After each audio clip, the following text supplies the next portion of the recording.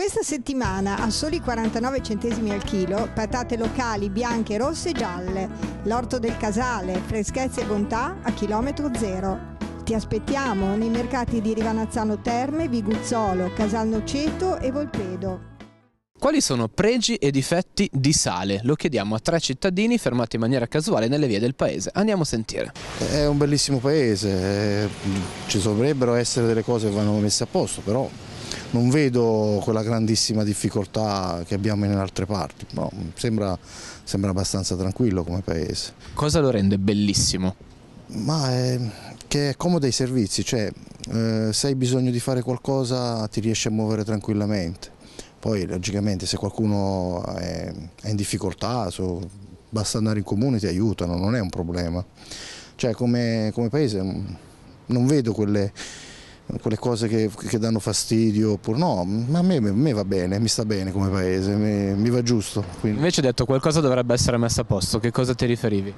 Eh, ci sono delle piccolezze che comunque vanno affrontate in base ai problemi delle persone solo per quello, in base a ognuno di noi ha dei problemi, quindi, però basta parlarne, si discute e si chiedono se si possono avere dei servizi e buon.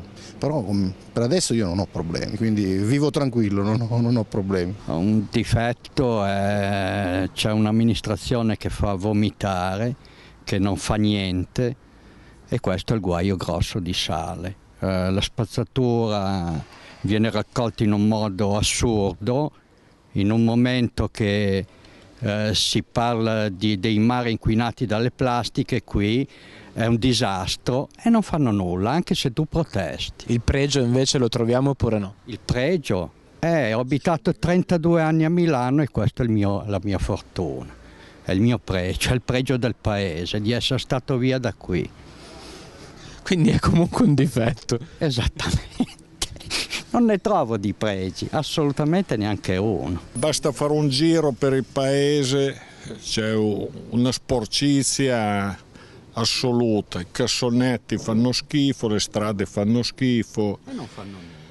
I campi al lato delle strade sono pieni di plastica, dipende anche da noi certo, non solo da... però nessuno muove un dito. Preso potrei essere io, però vabbè. Anche per gli altri cittadini, gli altri cittadini la ritengono un pregio del paese? Assolutamente, un valore aggiunto, mi rende un pregio, di... intanto il fatto di sopportare lui. Ma... Ah, il suo amico qua vicino di tavolo al bar. Ma no, il pregio è semplicemente la tranquillità, basta. Ah no, un altro, però mi è venuto in mente un altro difetto, il traffico. Nella via principale c'è il divieto, ci sarebbe, ci sono i cartelli, il divieto di transito nei giorni festivi. Sono i giorni in cui passano più macchine.